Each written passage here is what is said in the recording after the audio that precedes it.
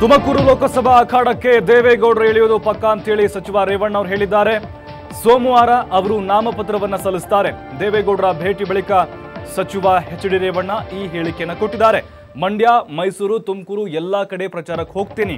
ಪ್ರಚಾರಕ್ಕೂ ಮುಹೂರ್ತವನ್ನ ಇಟ್ಟಿದ್ದೇವೆ ಅಂತ ಹೇಳಿ ರೇವಣ್ಣ ದೇವೇಗೌಡರ ಭೇಟಿ ಬಳಿಕ ಹೇಳಿದ್ದಾರೆ. ತುಮಕೂರಿನಿಂದ ಲೋಕಸಭಾ ಕಾಡಕ್ಕೆ ದೇವೇಗೌಡರು ಇಳಿಯುವುದು ಕನ್ಫರ್ಮ್ ಅಂತ ಹೇಳಿ ರೇವಣ್ಣ ಹೇಳ್ತಾ ಇದ್ದಾರೆ. ಸೋಮವಾರ ಅವರು ನಾಮಪತ್ರವನ್ನು ಸಲ್ಲಿಸ್ತಾರೆ.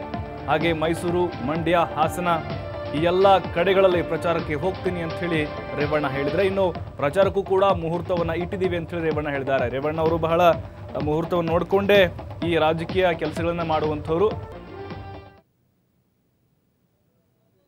ತುಮಕೂರು ಲೋಕಸಭಾ ಸ್ಪರ್ಧೆ ವಿಚಾರಕ್ಕೆ ಸಂಬಂಧಪಟ್ಟಂತೆ ಇದೀಗ ರೇವಣ್ಣ ಅವರು ದೇವೇಗೌಡರನ್ನ ಮೀಟ್ ಆದಂಥ ಸಂದರ್ಭದಲ್ಲಿ ಮಾಧ್ಯಮದವರಿಗೆ ಪ್ರತಿಕ್ರಿಯೆ ಕೊಟ್ಟಿದ್ದಾರೆ. ತುಮಕೂರಿನಿಂದಲೇ ದೇವೇಗೌಡರು ಸ್ಪರ್ಧೆ ಮಾಡ್ತಾರೆ.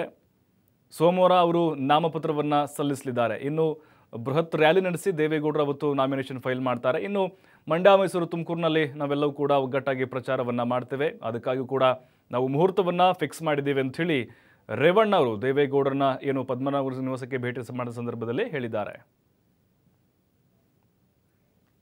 ನನಗೆ ಗೊತ್ತಿಲ್ಲ. ಇವತ್ತು ಕೂತು ದೇವರು ನಿನ್ನೆ ಎಲ್ಲ ಮಾತಾಡಿದ್ದಾರೆ.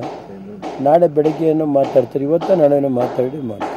ಸೋಮವಾರ ಸಲ್ಲಿಸ್ತೀವಿ ಅಂತ ಹೇಳೋರಿಲ್ಲ ಮಂಡ್ಯಕ್ಕೂ ಹೋಗ್ತೀನಿ, ತುಮಕೂರಿಗೂ ಹೋಗ್ತೀನಿ, ಮೈಸೂರಿಗೂ ಹೋಗ್ತೀನಿ. ಎಲ್ಲ ಕಡೆ ಹೋಗ್ತೀನಿ. ಎಲ್ಲ ಮಾಡಿ ಮುಹೂರ್ತ ಹೋಗ್ತೀನಿ ಕರೆಕ್ಟಾಗಿ ನೀವು ಹೇಳ್ಬೇಕಪ್ಪ, ನಿನ್ನೆ ಎಲ್ಲ ಆಯ್ತಲ್ಲ? ಜನತೆ ಆಶೀರ್ವಾದ, ದೇವ್ರ ಆಶೀರ್ವಾದ ಇರೋವರೆಗೆ ಏನು ಆಗಲ್ಲ ನಡಿ ಭೇಟಿ ಮಾಡಿಸ್ಲಿ ದೊಡ್ಡನ ಭೇಟಿ ಮಾಡಿಸ್ತೀನಿ. ಇಲ್ಲ, ನನಗೆ ಗೊತ್ತಿಲ್ಲ ಇವತ್ತು ಕೂತು ದೇವರು ನೆನ್ನೆ ಎಲ್ಲ